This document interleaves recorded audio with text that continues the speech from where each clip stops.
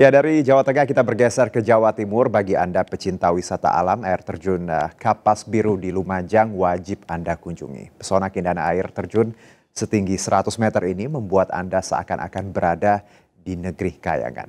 Berikut liputannya.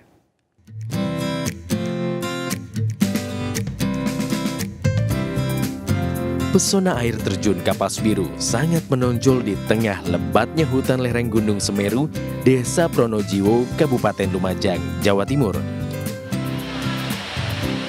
Air terjun dengan tinggi mencapai 100 meter ini nampak indah dikelilingi tebing batu di sisi kanan kirinya. Pengunjung akan merasakan sensasi bagaikan berada di negeri kahyangan dengan percikan air yang jatuh dan pemandangan yang menakjubkan. Dinamakan air terjun kapas biru lantaran jika dilihat dari kejauhan, bagian sisi bawah air terjun nampak berwarna biru dan limpasan air berwarna putih bak kapas yang jatuh. Untuk sampai di air terjun kapas biru, pengunjung harus menyusuri tebing selama 30 menit dengan medan yang curam, bahkan di beberapa titik pengunjung harus melewati tangga untuk menuruni tebing dengan kemiringan hampir 90 derajat.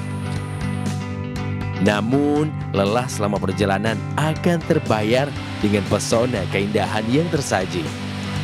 Tadi kan ada air terjunnya, terus bisa diem air terjunnya sambil duduk gitu di batu. Karena first time jadi seru. Air terjun Kapas Biru terletak sekitar 50 km dari pusat kota. Untuk masuk ke wisata air terjun Kapas Biru, pengunjung hanya dikenakan tiket masuk sebesar Rp10.000 per orang. Dari Lumajang, Jawa Timur, Yayan Nugroho, iNews melaporkan.